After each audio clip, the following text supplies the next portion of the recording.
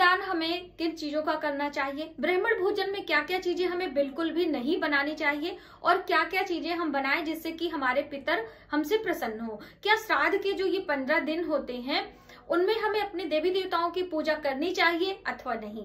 महिलाएँ कुछ खास बातों का ध्यान रखें, जिससे इन पंद्रह दिनों में हम अपने पितरों को प्रसन्न करके अपने घर में खुशहाली ला सकते हैं, अपने घर में सुख समृद्धि ला सकते हैं। तो कौन कौन सी वो बातें हैं जो कि हमें ध्यान देनी होती है? साथ ही जिन दिवंगत आत्मा की अकाल मृत्यु हुई है, यानी कि जिनका रोड एक्सीडेंट हुआ है या फिर आत्महत्या किया है ऐसे दिवंगत आत्मा के शांति के लिए, मुक्ति के लिए हमें किस दिन, ये जो पंद्रह दिन की अवधि है एक एक करके हम आपको जानकारी देंगे तो उनमें किस दिन हमें उनके निमित्त श्राद्ध तर्पण करना चाहिए? और साथ ही जो महिलाएँ हैं, जो हमारे घर की माताएँ हैं, उनका जो अंतिम श्राद्ध तर्पण होता है, वो हमें कब करना है? नमस्कार वेलकम टू माय चैनल मैं हूँ मनीषा। दोस्तों, आज की वीडियो श्राद्ध पक्ष से संबंधित होने वाली है। तो श्राद्ध पक्ष वर्ष 2023 में कब शुरू हो रहा है, इसकी जानकारी आप पहले ले लीजिए, क्योंकि तभी हम सभी विधियाँ सही से कर पाएँगे। तो श्राद्ध पक्ष की जो शुरुआत है, वो भादो मास की पूर्णिमा से लेके अश्वनी अमावस्या तक होने वाली है, यानी पंद्रह दिन की ये अवधि है। तो उनतीस सितंबर से स्नान दान की जो पूर्णिमा है 28 तारीख को व्रत वाली पूर्णिमा है और 29 सितंबर को स्नान दान की पूर्णिमा से ही श्राद्ध पक्ष प्रारंभ हो रहा है। और ये लगातार 15 दिनों तक चलने वाला है और 14 अक्टूबर तक ये चलेगा। 14 अक्टूबर दिन शनिवार को अमावस्या तिथि है, जिसे पितृ विसर्जनी अमावस्या के नाम से जाना जा रहा है। 15 अक्टूबर दिन रविवार को कलश स्थापना नवरात्रि का प्रारंभ हो रहा है। नवरात्र का पहला दिन है। प्रतिपदा तिथि उस दिन लग जाएगी। तो आप इन श्राद्ध के दिनों में अपने पितरों के निमित्त ज़्यादा से ज़्यादा दान पुण्य करें, ज़्यादा से ज़्यादा ब्राह्मण भोजन कराएँ, उनके निमित्त कुछ विशेष चीज़ें, उनकी प्रिय चीज़ें दान करें। लेकिन दान करने से पहले आपको कुछ सावधानियों को भी बरतना होगा। हर चीज़ें हम पितरों के निमित्त नहीं दान कर सकते हैं। इससे पितर हमारे नाराज़ हो जाते हैं। जो पितरों की पूजा है, उसे हमें कैसे करनी है और देवताओं की पूजा हमें करनी है कि नहीं? ज़्यादातर प्रश्न आपके यही आए हैं। तो देखिए, पितरों की पूजा इस तरह से आपको घर में नहीं करनी चाहिए। पितरों की पूजा हमेशा किसी सरोवर में, किसी बाग बगीचे में, किसी पीपल वृक्ष के नीचे ही करना चाहिए। ये हमारे लिए ज़्यादा हितकर होता है। आप अपने घर में ब्राह्मणों को भोजन करा सकते हैं। पितरों के निमित्त जलदान, तर्पण और श्राद्ध पिंडदान ये सारे कार्य नदी सरोवर के किनारे यदि आप करते हैं तो वो आपके लिए शुभकारी होता है। इससे आपके पितर प्रसन्न भी होते हैं। दूसरी अहम बात, जो देवताओं की पूजा हमें करनी है, वो करनी है कि नहीं? ज़्यादातर लोग सोचते हैं कि जब हम श्राद्ध पक्ष के दिन आते हैं तो देवी देवताओं को बिल्कुल हमें छूना नहीं चाहिए, उनकी पूजा उपासना, सूर्य को जल देना, ये सब कुछ नहीं करना चाहिए। लेकिन ये बहुत बड़ा पाप है। ऐसा आपको नहीं करना है। पितर अलग होते हैं, देवता अलग होते हैं और मनुष्य अलग होते हैं। तो हम मनुष्य देवी देवता के साथ में पितरों की भी पूजा उपासना इन पंद्रह दिनों में करेंगे। तो आप इस भ्रम में ना रहें कि इन पंद्रह दिन श्राद्ध के जो है, वो सिर्फ़ हम पितृ ही करेंगे, श्राद्ध करेंगे, पूजा नहीं करेंगे। तो ये आप ना सोचें। पूजा भी करना है, देवताओं की भी और पितरों के निमित्त दान, पुण्य, श्राद्ध, तर्पण, पिंडदान आदि करना है। पहली आपकी जो क्वेश्चन था, पहला जो प्रश्न था, संशय था, उसको क्लियर हो गया। सूर्य को जल भी देना है, दीपदान भी करना है, ब्राह्मण भोजन भी कराना है। ये सभी कार्य आपको करने हैं।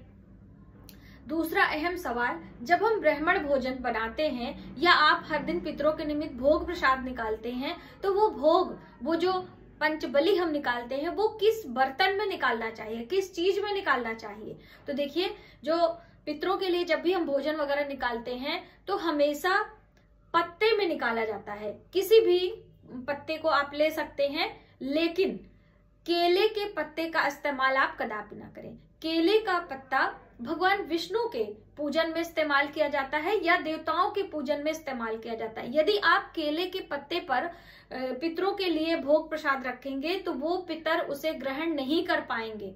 उन्हें वो नहीं मिलेगा। इसलिए ये गलती आपको कदापि नहीं करनी है। पितरों के लिए भोजन आप महुए के पत्ते पर पलास के पत्ते पर, या और भी जो लौकी तुरई ये सारे पत्ते आते हैं, बहुत सारे आजकल सर्दी के मौसम में आते हैं तो उन पत्तों पर आप रख सकते हैं। लेकिन केले के पत्ते का इस्तेमाल भूल कर भी आपको नहीं करना है। पहली अहम जानकारी, दूसरा, जो आप भोग प्रसाद बनाएँगे, जो आप खाना बनाएँगे, चाहे ब्राह्मण भोजन के लिए हो, और चाहे हम पंछियों के लिए, गाय के लिए आदि के लिए जब निकालते हैं तो भी सरसों के तेल में आपको भोजन नहीं पकाना है। सरसों, चाहे खड़ी सरसों हो, पीली सरसों, काली सरसों सरसों का तेल, कोई भी चीज़ हम इस्तेमाल नहीं करते हैं इन श्राद्ध पक्ष के दिनों में। आप स्वयं के खाने के लिए इस्तेमाल करें, लेकिन जब आप बनाएँगे तो पितरों के लिए निकालेंगे, इसलिए आप शुद्ध देसी घी का इस्तेमाल कर लें, आप मूंगफली के तेल का इस्तेमाल कर लें आप तिल के तेल का इस्तेमाल कर लेकिन सरसों के तेल का इस्तेमाल आपको नहीं करना है। तो आपने जाना, केले के पत्ते का इस्तेमाल नहीं करना है और सरसों के तेल का इस्तेमाल नहीं करना है। लहसुन प्याज का भी इस्तेमाल हमें नहीं करना है। लहसुन प्याज, मांसाहार आदि तो बिल्कुल करना ही नहीं है। लहसुन प्याज का भी इस्तेमाल हमें अपने रसोई में नहीं करना है, स्पेशली जिस दिन आपको अपने घर में ब्राह्मण भोज करना हो। तो वो भी आपको नहीं करना है। ठीक है?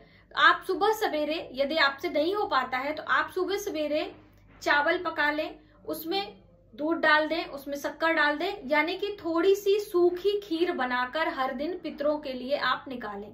ये आप पंछियों को, यानी कबू को भी दे सकते हैं, ये आप गाय को भी खिला सकते हैं, ये आप चीटियों को भी दे सकते हैं, और इससे आप पिंडदान भी कर सकते हैं। बहुत सारे लोगों का प्रश्न होता है कि जो हम अपने पितरों के निमित्त पिंडदान करते हैं, तर्पण करते हैं सरोवर नदी के किनारे, वो किस चीज़ का होना चाहिए? तो देखिए अलग अलग आटे का इस्तेमाल किया जाता है, जैसे कि जौ का आटा, जैसे कि चावल का आटा, और यदि आप खीर बनाकर, सूखी, बिल्कुल ड्राई, सूखी खीर होनी चाहिए, उसका पिंडदान, यानी कि छोटे छोटे बॉल्स बनाकर और उस पे तुलसी के पत्ते, काले तिल आदि डालकर, वो मंत्रोच्चारण से और कुछ घास ज़रूर लेना है। जो कुछ हम लोग पूजा करते हैं हलछठ षष्ठी पर, उस कुश को हाथ में पहनना होता है, हाथों में लेकर ही पितरों के लिए तर्पण, पिंडदान करना चाहिए। यदि आप इन छोटी छोटी बातों का ध्यान रखते हैं तो आपके पितर आपसे अवश्य ही प्रसन्न होंगे। आपको आशीर्वाद देकर जाएँगे। आपके घर में खुशियाँ आएँगी। आपके घर में खुशहाली आएगी। तो आप अवश्य इन बातों का ध्यान रखें। अब आपने ये समझ लिया अब पितरों के लिए भोजन हमें कब निकालना होता है? ब्राह्मण भोजन हमें कब करना होता है?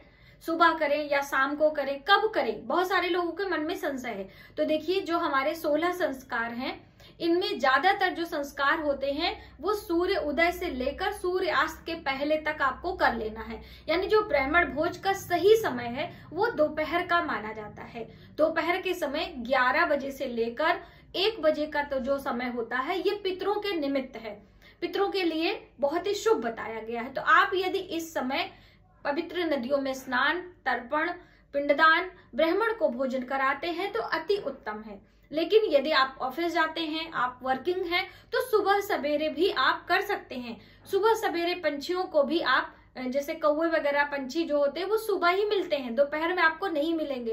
तो इसलिए सुबह ही आप पहला जो आहार आपके रसोई में बनता है, वो आप निकाल सकते हैं। जो पंचबली की बात मैंने लास्ट वीडियो में बताई थी तो वो पंचबली के लिए आप गाय के लिए, चीटियों के लिए कौओं के लिए, स्वान के लिए, ये सारी चीज़ें आप निकाल सकते हो सुबह सवेरे जो पहला आहार। आप हर दिन हलवा पूरी बना लीजिए। आप हर दिन मीठे पराठे बना लीजिए। आप हर दिन जो है सवैया बना लीजिए, वो सभी आप निकाल सकते हो। इस तरह से सूक्ष्म तरीके से आप फटाफट से सुबह उठे, स्नान ध्यान करके अपनी रसोई में पहला आहार पितरों के लिए बनाए और निकालें, फिर आप अपने पूरे परिवार के लिए भोजन बना सकते हैं। ऐसा भी आपको करना चाहिए, ऐसा करने से आपके पितर प्रसन्न होते हैं।